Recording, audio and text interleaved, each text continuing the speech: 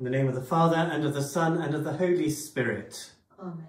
Grace, mercy, and peace from God our Father, and the Lord Jesus Christ be with you. And also with you. Good morning and welcome to St Peter's on the Quay um, uh, here in Minehead. I'm Father Simon, the parish priest here. Um, and I'm joined today by one of our readers, Hilary, who is going to be preaching uh, today.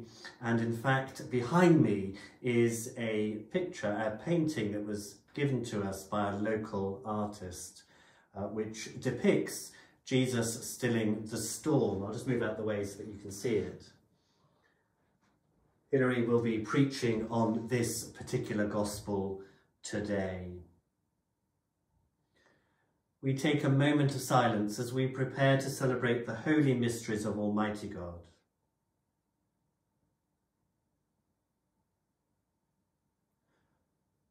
Almighty God, to whom all hearts are open, all desires known, and from whom no secrets are hidden, cleanse the thoughts of our hearts by the inspiration of your Holy Spirit, that we may perfectly love you and worthily magnify your holy name, through Christ our Lord.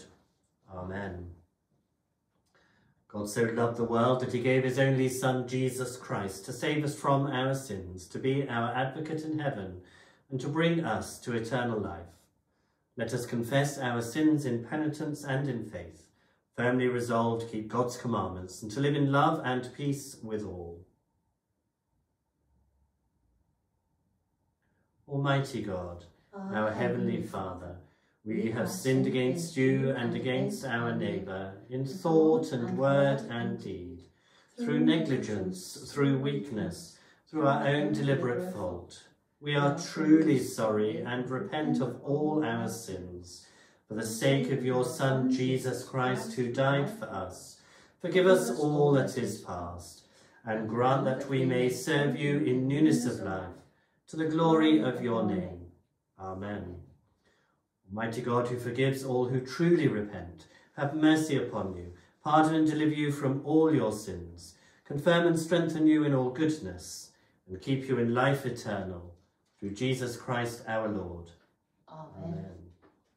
Glory to God in the highest, and peace to his people on earth. Lord God, heavenly King, almighty God and Father, we worship you, we give you thanks, we praise you for your glory. Lord Jesus Christ, only Son of the Father, Lord God, Lamb of God, you take away the sin of the world. Have mercy on us. You are seated at the right hand of the Father. Receive our prayer. For you alone are the Holy One. You alone are the Lord. You alone are the Most High, Jesus Christ, with the Holy Spirit, in the glory of God the Father. Amen. The Lord be with you. And also with you. Almighty God, you've broken this tyranny of sin have sent the Spirit of your Son into our hearts, whereby we call you Father. Give us grace to dedicate our freedom to your service, that we and all creation may be brought to the glorious liberty of the children of God. Through Jesus Christ, your Son, our Lord, is alive and reigns with you in the unity of the Holy Spirit, one God, now and forever. Amen. Amen. We listen to the word of God.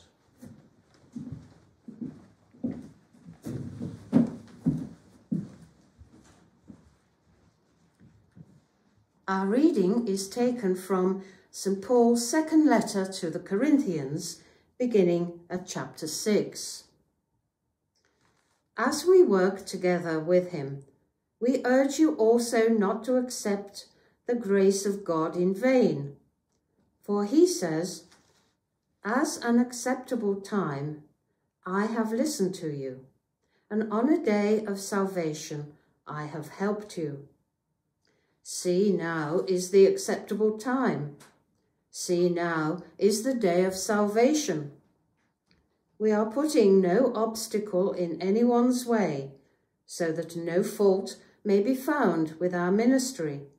But as servants of God, we have commended ourselves in every way through great endurance in afflictions, hardships, and calamities, beatings, imprisonments, riots, labours, sleepless nights, hunger, by purity, knowledge, patience, kindness, holiness of spirit, genuine love, truthful speech, and the power of God, with the weapons of righteousness for the right hand and for the left, in honour and dishonour, in ill repute and good repute. We are treated as impostors and yet are true, as unknown and yet are well known, as dying and see we are alive, as punished and yet not killed, as sorrowful, yet always rejoicing, as poor, yet making many rich, as having nothing, and yet possessing everything. We have spoken frankly to you, Corinthians. Our heart is wide open to you. There is no restriction in our affections, but only in yours. In return, I speak to children. Open wide your hearts also. This is the word of the Lord. Thanks be to God.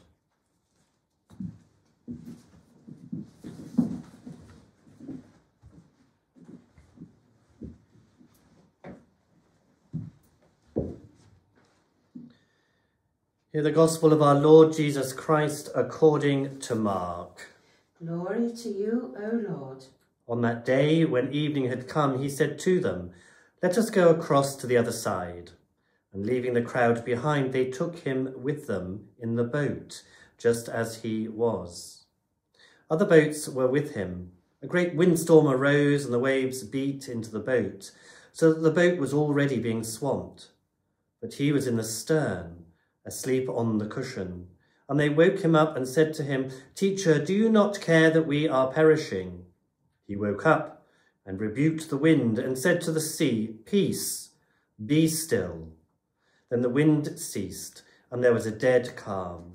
He said to them, Why are you afraid? Have you still no faith? And they were filled with great awe and said to one another, Who then is this, that even the wind and the sea obey him. The Gospel of the Lord. Praise to you, O Christ.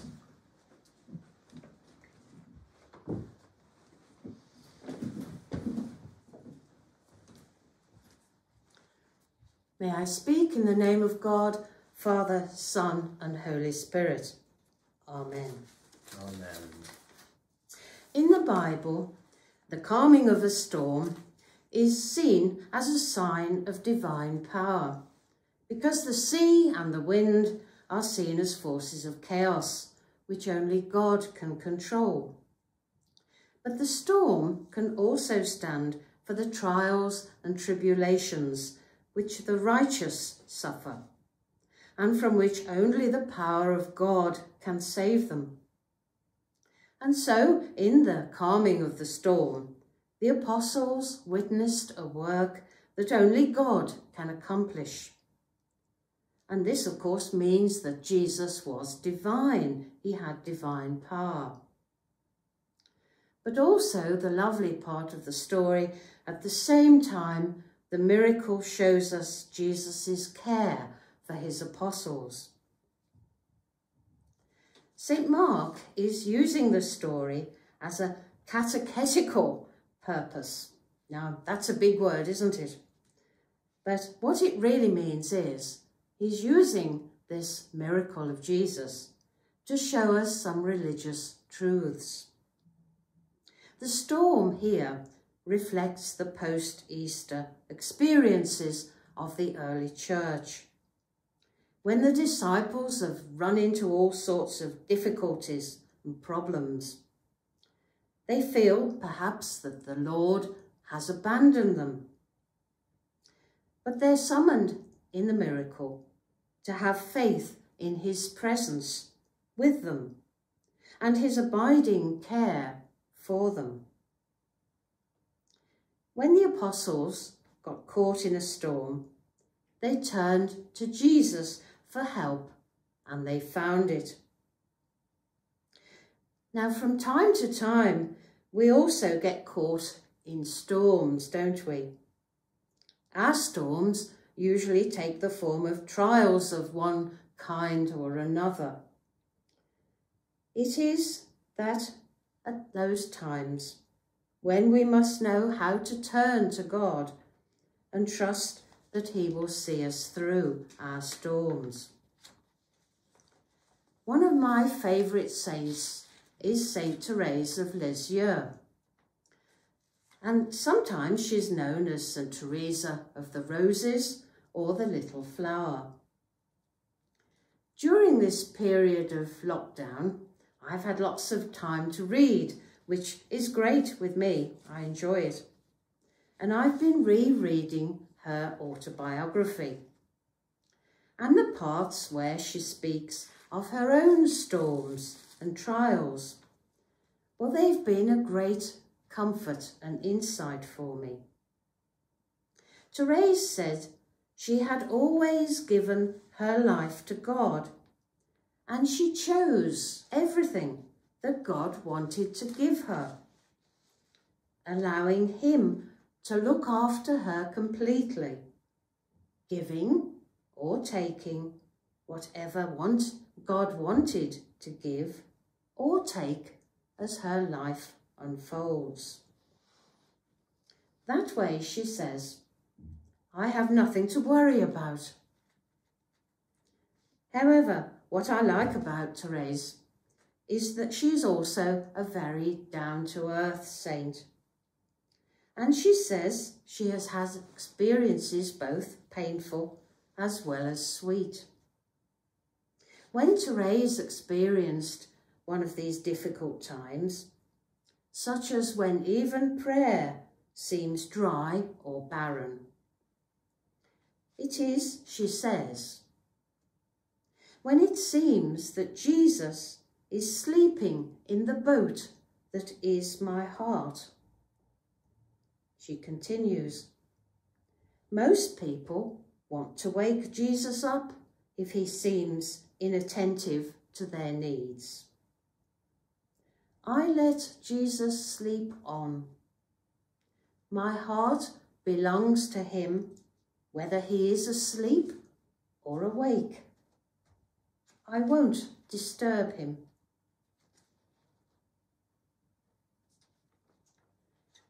Therese wrote a little poem about this.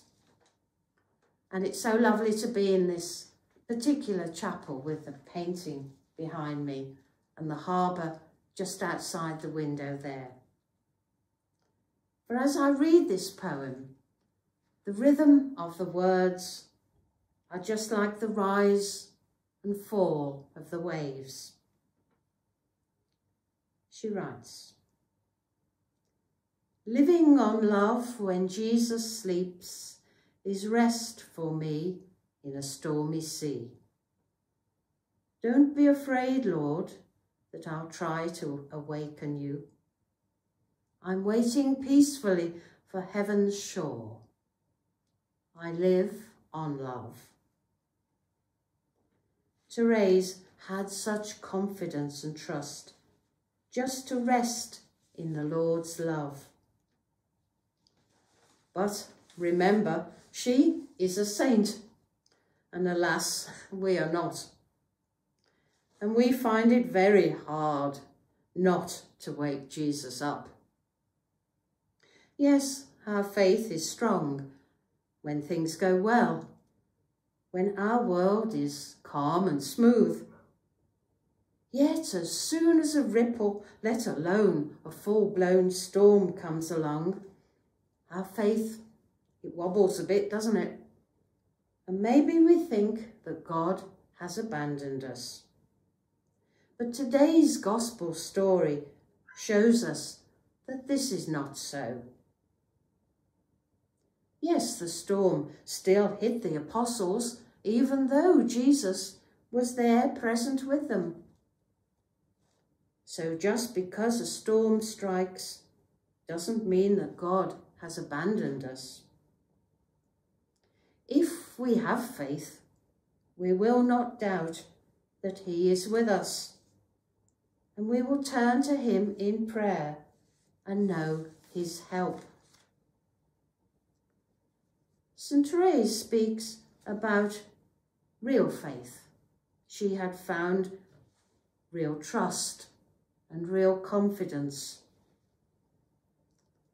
which assures that God is with us in the midst of a storm. It is that conviction, that trust, that confidence that we are not alone, which enables us to get through. The gospel story challenges us to challenge and obey, to trust God's power, especially in our storms. For Saint Therese, it was enough for her to know that Jesus was present, even though he quietly slept. She could rest, abiding in that love, to endure the trials and tests of life. We need, like Therese, to build a relationship with God through prayer. When we have learned to seek him and to trust him in the quiet moments, then most certainly will we find him when the going gets rough. And then when we absolutely have to wake Jesus, when there is no option, when we cry out from our depths, Jesus will be there to still our storm. Let us pray. Lord Jesus, you bring us peace of mind by forgiving our sins. You calm our fears by your presence with us. You uphold us with your grace in times of trial and difficulty. May we have faith, trust and confidence to always feel you near us and rest in your love. Amen.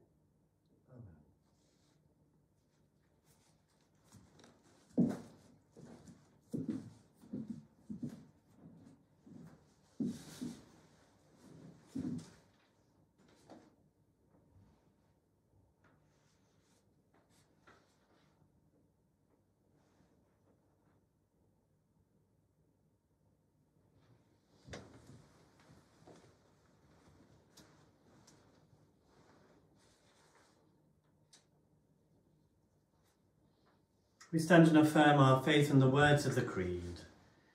We believe in one God, the Father, the Almighty, maker of heaven and earth, of all that is seen and unseen. We believe in one Lord, Jesus Christ, the only Son of God, eternally begotten of the Father, God from God, light from light, true God from true God, begotten, not made, of one being with the Father. Through him all things were made. For us and for our salvation he came down from heaven, was incarnate from the Holy Spirit and the Virgin Mary, and was made man. For our sake he was crucified under Pontius Pilate. He suffered death and was buried. On the third day he rose again in accordance with the Scriptures he ascended into heaven and is seated at the right hand of the Father. He will come again in glory to judge the living and the dead, and his kingdom will have no end. We believe in the Holy Spirit, the Lord, the giver of life, who proceeds from the Father and the Son, who with the Father and the Son is worshipped and glorified, who has spoken through the prophets. We believe in one holy, Catholic and Apostolic Church. We acknowledge one baptism for the forgiveness of sins. We look for the resurrection of the dead and the life of the world to come.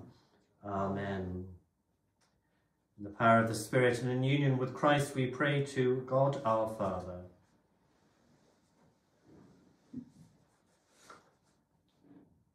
Gracious God, we pray for the Church, for the Church Universal.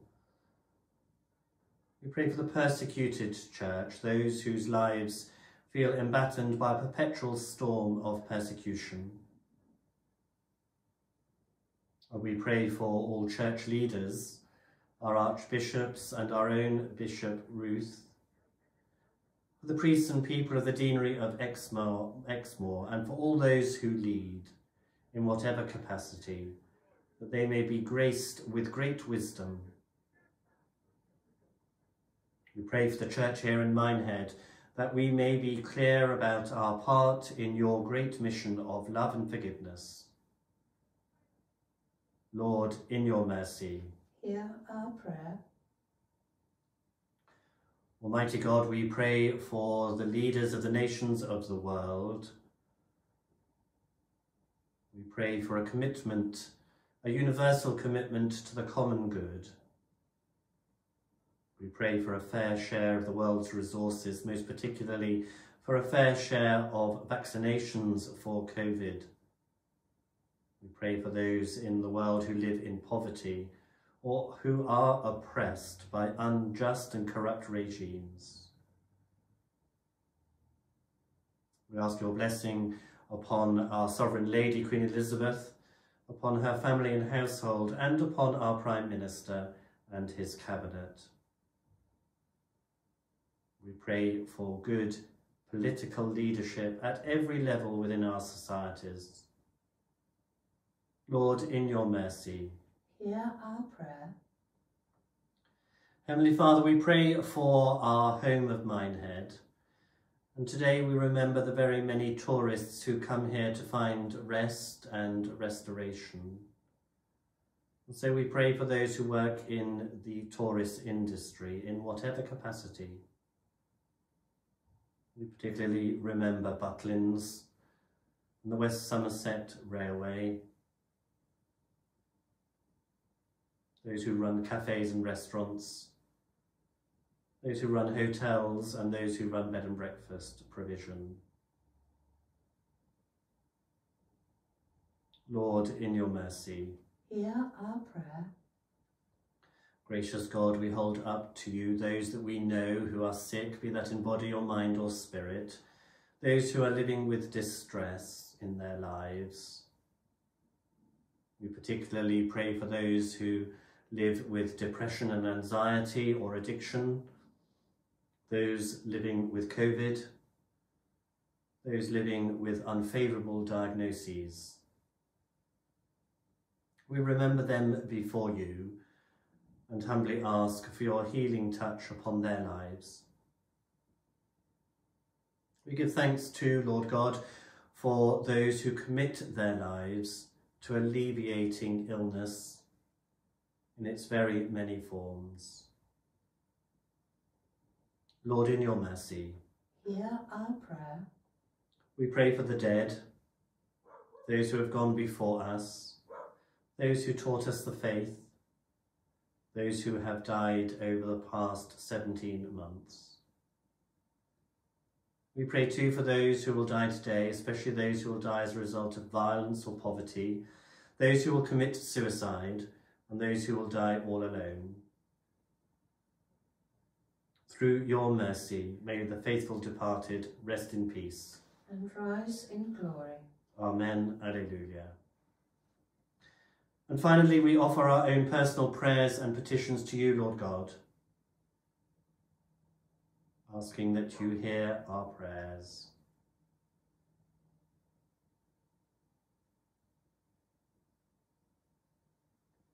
Merciful Father, accept these prayers for the sake of your Son, our Saviour, Jesus Christ.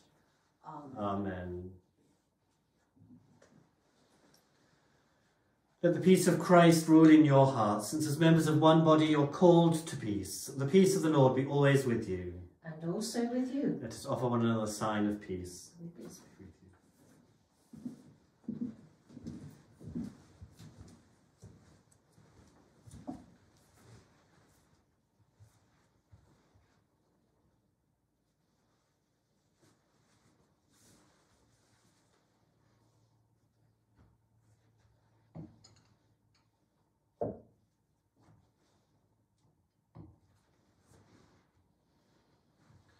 Blessed are you, Lord God of all creation, through your goodness we have this bread to set before you, which earth has given and human hands have made. It will become for us the bread of life. Blessed be God forever.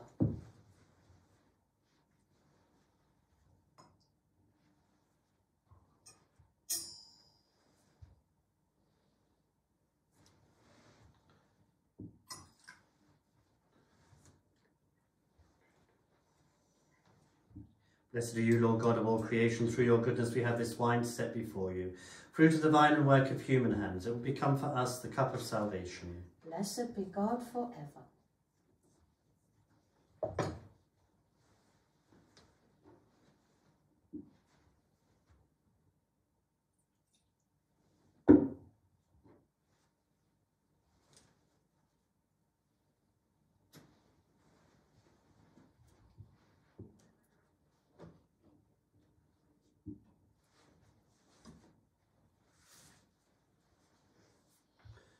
The Lord be with you. And also with you. Lift up your hearts. We lift them up to the Lord. Let us give thanks to the Lord our God. It is right to give thanks and praise.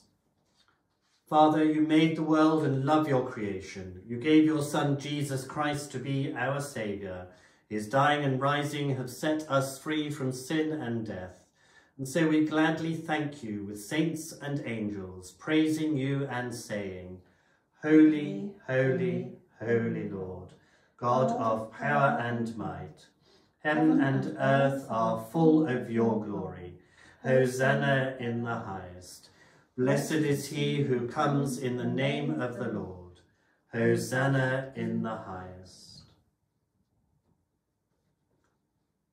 We praise and bless you, loving Father, through Jesus Christ our Lord.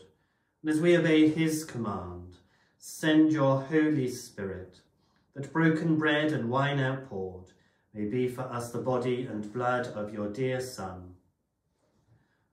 On the night before he died, he had supper with his friends, and taking bread, he praised you. He broke the bread, gave it to them, and said, Take, eat. This is my body, which is given for you. Do this in remembrance of me.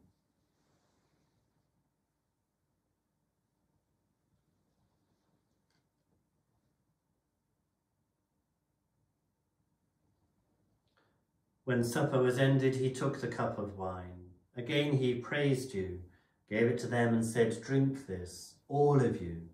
This is my blood of the new covenant, which is shed for you and for many for the forgiveness of sins. Do this as often as you drink it, in remembrance of me.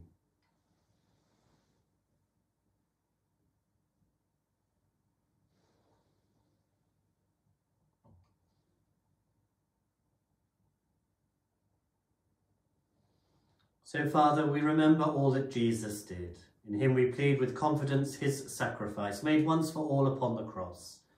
Bringing before you the bread of life and cup of salvation, we proclaim his death and resurrection until he comes in glory. Great is the mystery of faith.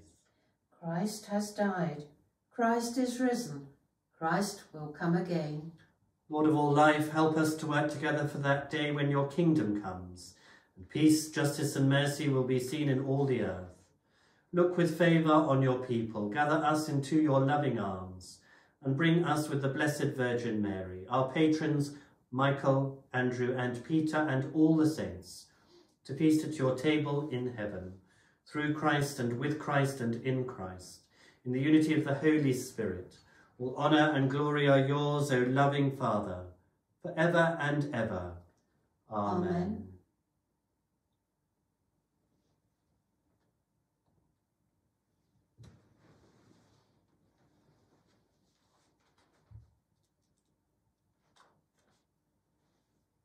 Let us pray with confidence as our Saviour has taught us.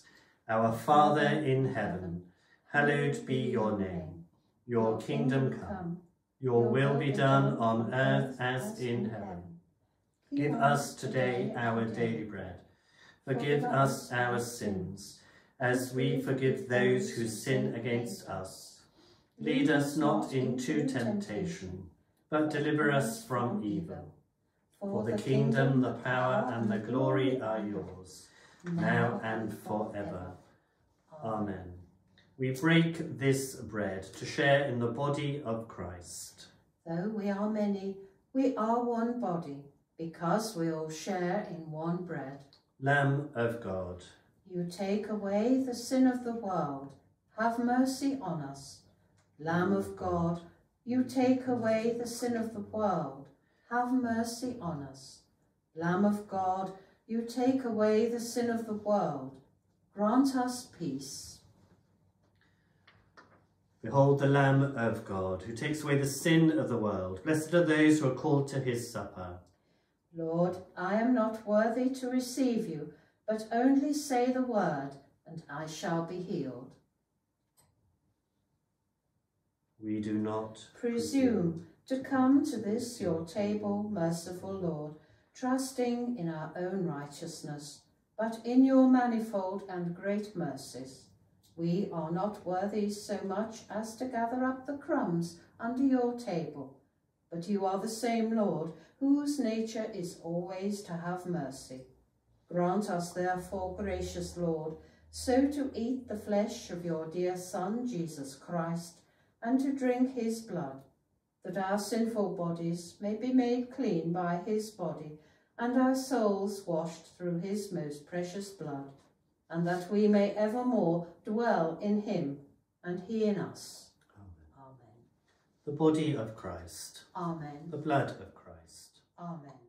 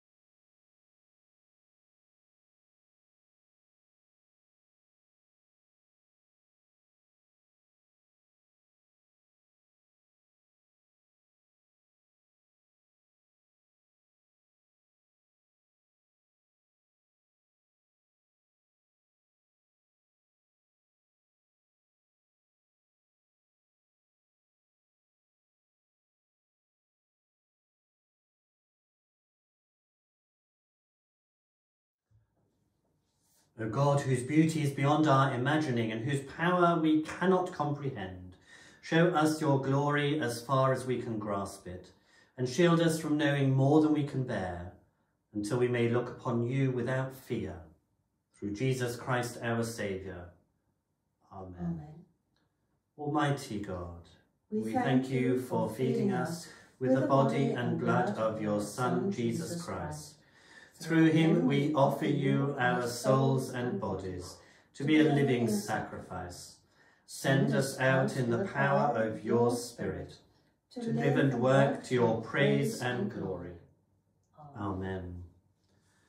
Thank you for joining us today uh, for our parish Eucharist from this really uh, much loved uh, little chapel of St. Peter. The Lord be with you. And also with you. Peace of God, which passes all understanding, keep your hearts and minds in the knowledge and love of God and of his Son, Jesus Christ, our Lord. And the blessing of God Almighty, the Father, the Son, and the Holy Spirit be among you and remain with you and those you love and pray and care for this day and always. Amen. The Eucharist is ended. Go in peace to love and serve the Lord. In the name of Christ. Amen.